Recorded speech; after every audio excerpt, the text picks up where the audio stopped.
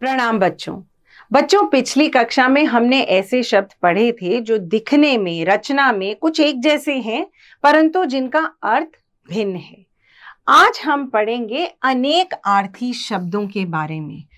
अब यहाँ पर जिन शब्दों के बारे में बात की जा रही है, उस एक शब्द के कई अर्थ हो सकते हैं। तो इन्हें क्या कहेंगे? ऊपर दिए चित्रों में पत्र और जलधर शब्द एक से अधिक अर्थ का बोध कराते हैं।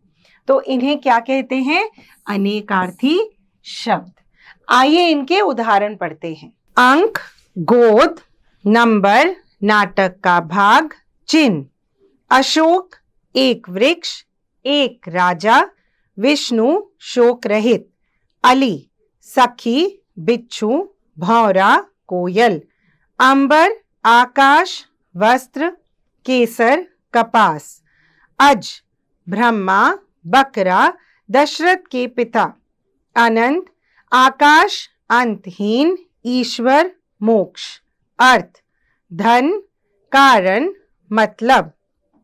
अक्षर, वर्ण, ईश्वर, सत्य, आकाश। अंग, भाग, शरीर का हिस्सा, उपाय। आम, एक फल साधारण, आतुर, व्याकुल, विकल, उत्सुक। उत्तर, एक दिशा, जवाब, बदला, पीछे। उपचार, इलाज, सेवा, उपाय, विधान।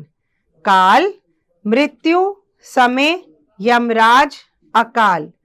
कनक, सोना, धतूरा।